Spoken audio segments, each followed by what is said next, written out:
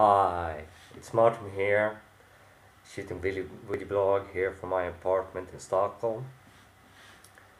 Today about intent and interactions and how to use intent in a way that will help you be in the moment, not thinking about what to do next, do next with a girl, just staying there and basically being able to move obstacles like boyfriends and husbands away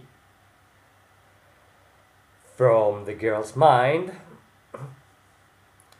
thus taking the girl into be into the now there with you without ego without your ego one with all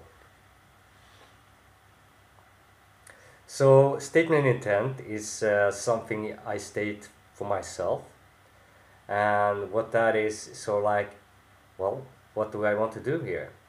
I want to get the girl aroused, excited, so I focus on that. And after that, I go silent in my mind and uh, let the resources uh, come in the moment that is having trust in your faculties. So if this is something that interesting you and no mind and being centered in the now, then check out my book, The Zen Game Manifesto. It's available on Amazon for only $10 and it's uh, will help you with happiness uh, dating, and success in life.